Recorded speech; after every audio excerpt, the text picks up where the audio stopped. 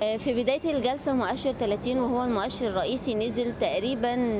بوينت 40 من 100% يعني تقريبا حوالي 30 نقطة إلا إنه بعد ربع ساعة من الجلسة قدر إن هو يسترد بعض خسائره ويطلع 2 من 100% يعني حوالي نقطة واحدة ارتفاع عن عن إقفال جلسة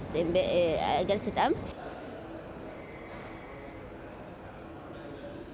هو مازال لسه ماشي في اتجاه عرضي عند مستوى ال 7500 آه عندنا نقطة اختبار نقطة ال 7750 إذا كسرناها نوصل ل 8000 ونقطة دعم هي نقطة ال 7300 إذا كسرناها ننزل ل 7000 أو ال 7 أو ال 6800